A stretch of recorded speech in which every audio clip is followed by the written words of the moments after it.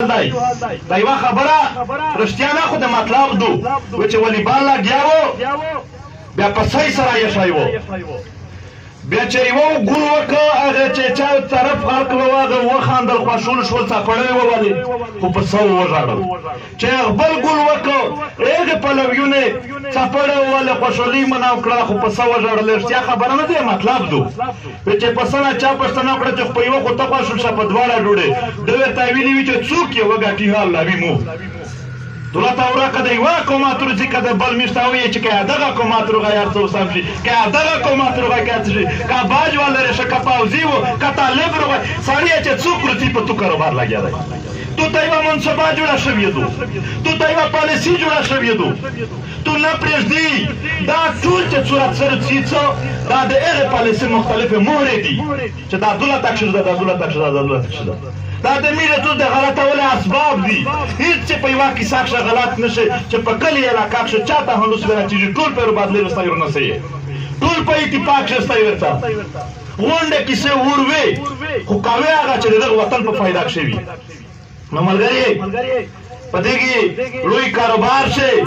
پدې کې امتیازي سلوک شي دا ته نه میر د قربانې نه مینه ور کوي دا ته میر نور نه مینه نه ور کوي دا ته میر وجه د جبر او د ظلم یو نظام دی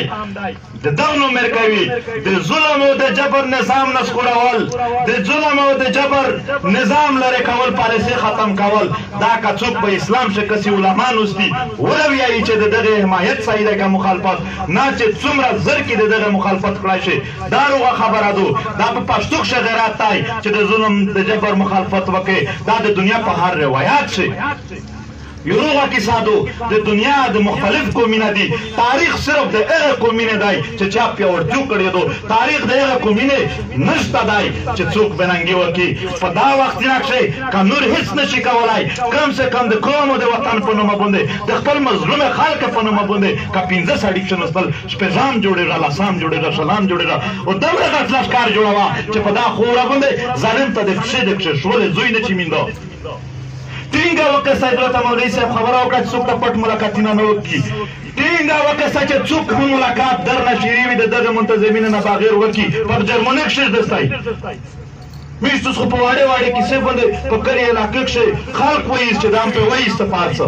وایي بو څه ستا خلک په دغه وطن باندې څوک چې د دې وطن سودو کوي څوک چې دا وطن خرڅوي هو نو ملګری په وطن سخت راغلی دو دغه وطن یو تاریخ لیکل شي خو خالي او دغه خلک ولیکل شي چې چا په دغه وطن په داسې سخت تاریخ ننګ وکړ بننګي ونه کوي به اتفاقي ونه کوي په هر حالات شو د خپل وطن سره درېږي پی ټی ایم د میره یو داسې تحریک ته چې دا د هرې پارټۍ هده او د هر سړي هده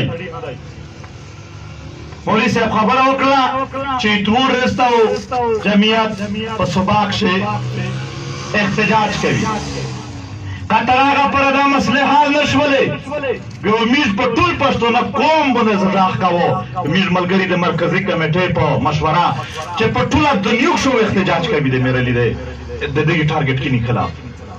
او دوله ته درنه دا مذهبی تاسو تی د ظالم او د یلغرګر نو ډریږي نه نو ملګری جمیرز دو کیسا وژدونه خلی اخیری خبره بیا دا کوو چې تکړه استای